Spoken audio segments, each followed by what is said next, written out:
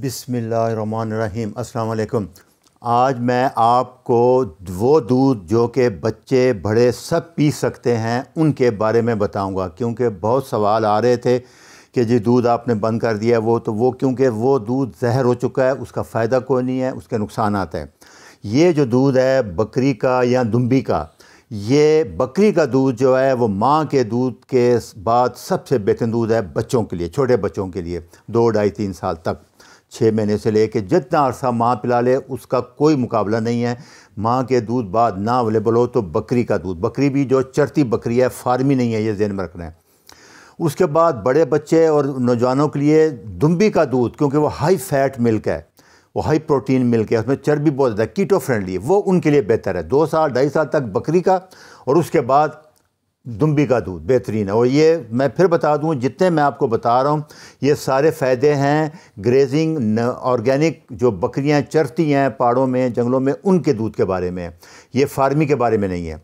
हमारे जैसे बलोचस्तान है, फाटा है, हंजा है, गिलगत है, इसमें ये इतनी बड़ी इंडस्ट्री है, अगर इस पर थोड़ी सी तोज़ा दी जाए तो ये बेहतरीन दूध है, बेहतरीन गजाइत है। ये जितने जहरीले हो चुके हैं, सबसे आप बच सकते हैं।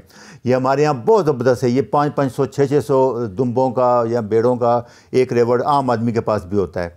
तो उसका दूध ले लें, उससे घी कर लें, थोड़ी सी कोशिश कर लें, थोड़ी सी स्ट्रगल कर लें। जैसे मैंने मुसखिया से भी दफ़ा घी मंगवाया था, कोशिश करके मेरे दो डॉक्टर आबिद ने भेजा था। तो आप इस तरह रबते करके उनसे कर सकते हैं, उनसे ले सकते हैं इनकी, बच्चों के लिए, कि अपने बच्चों के लिए आपको करनी पड़ेगी। तैयार फ़ोन पे ऑनलाइन ये चीज़ें नहीं मिलेंगी, ये चीज़ें आपको समझ नहीं आ रही। आप आदि हो चुके हैं, हर चीज़ दुकान पर जाएँ मॉडल स्टोर पर जाएँ, फ़ोन करें, घर आ जाए। ये इस तरह नहीं है, ये शायद दस बीस साल बाद हो जाए, अभी नहीं है। तो इसलिए ये सबसे ज़रूरी है, इसको समझ लें।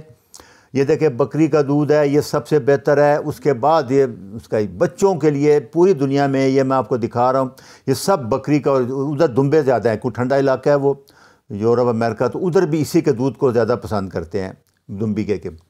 तो जो दुम्बी का दूध है वो सबसे बेस्ट कीटो फ्रेंडली है और ए टू मिल गया। अभी सबसे बेस्ट है ए वन ये जितनी गायें हैं जो क्रॉस ब्रिड हो चुकी हैं वो ए वन है। हमारी भैंस ए टू है ये दुम्बी ये सब ऊँट और बकरी ये ए टू मिल्क है। इसलिए ये ए वन केजीन है जो कि एंटी इन्फ्लेमेटरी है।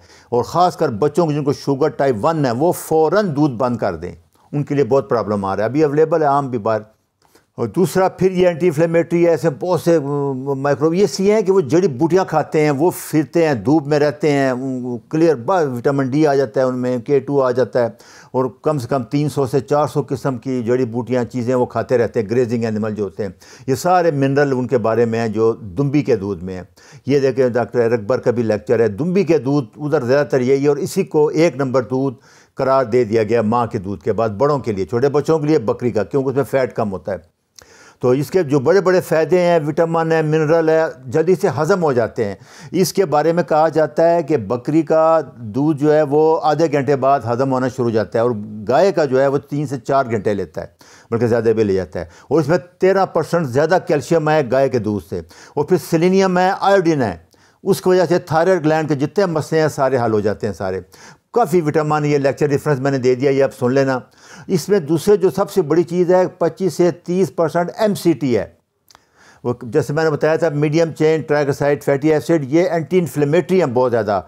जैसे बच्चों में टीबी के लिए बहुत अच्छे हैं डेसेंट्री के लिए नमूनिया के लिए कॉर्रा के लिए इम्यूनिटी बहुत बढ़ाते हैं, ये एमसीटी फैट है, ये स्टोर नहीं होता वेट नहीं बढ़ाता, क्योंकि ये कीटोन में कन्वर्ट होकर लीवर में फ़ौर इस्तेमाल हो जाता है बॉडी के लिए।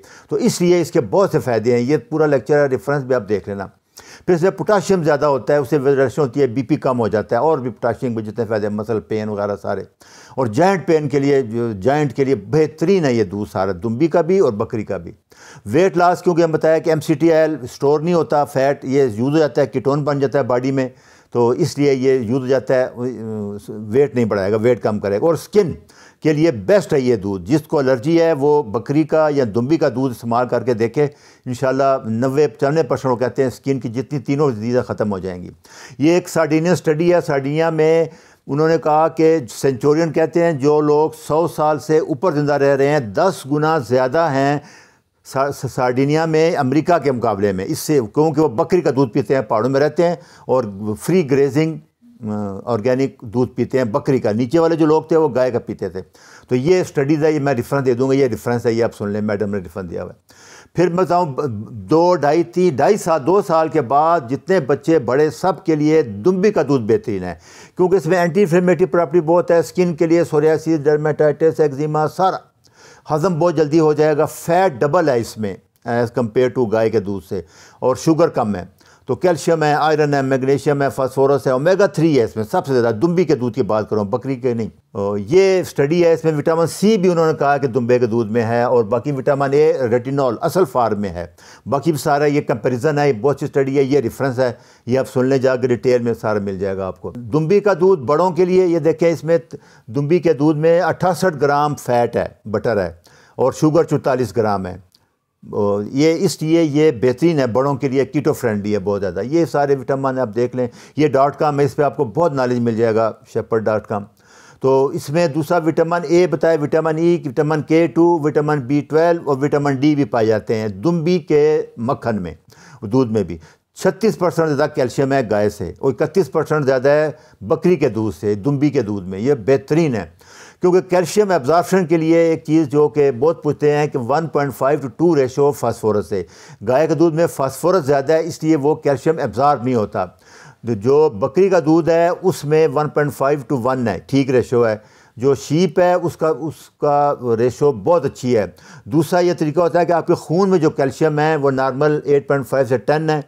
और फास्फोरस जो है two point five five point one है। तो अगर दस कैल्शियम है तो चार फास्फोरस फोर्टी ये मल्टीप्लाई फिफ्टी फाइव से कम होना चाहिए। ये भी एक तरीका, वो बताते हैं कम करने के लिए कि फोर्टी फिफ्टी फाइव से कम हो। तो वो दूध भी ठीक है, उसमें कैल्शियम ज़्यादा अब्जार्ब होगी। इसमें सिर्फ़ मसला बच्चों को शुरू शुरू में आएगा स्मेल का, थोड़ा सा, और कलर का। वो जिस तरह अभी हम इन चीज़ों के आदि हो गए हैं सालों बाद, ये भी दो, तीन, चार महीने बाद हर चीज़ के आप आदि हो जाएँगे। हर चीज़ जो नई नई आती है शुरू शुरू में थोड़ा सा मसला आता है उसका।